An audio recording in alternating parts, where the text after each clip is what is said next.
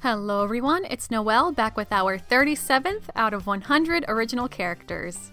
Today's OC is Michelle, a pet walker who is currently enrolled in veterinary college.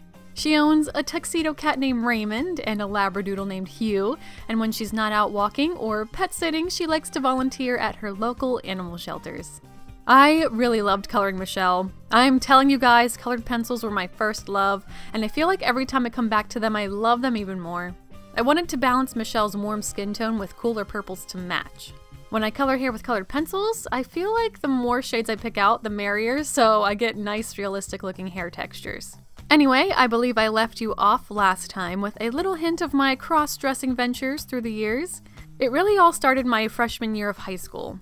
I had already discovered the fact that I was bisexual, but I wanted to make it known uh, subtly. I had only come out to a few close friends and my mom, and I decided I was going to have short, boyish hair and wear very boyish clothes, and uh, some of my clothes even came from the boys section of the store. Well, anyway, the cross dressing event occurred when the fall play announced in the morning that they were in need of male background characters in their show. See, I didn't even consider trying out for the play at all.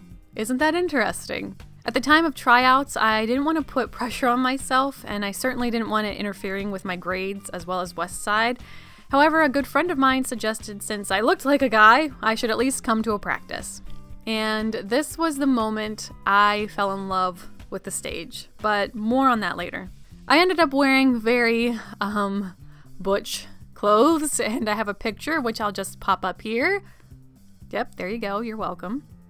I didn't really play any other real male characters until my senior year when I was Bob Cratchit in our production of The Little Town of Christmas, and again as Annas in Jesus Christ Superstar. I do kind of have a goal in mind for some time in the future, maybe, and that is to try my hand at drag king makeup, but uh, we'll see, we'll see.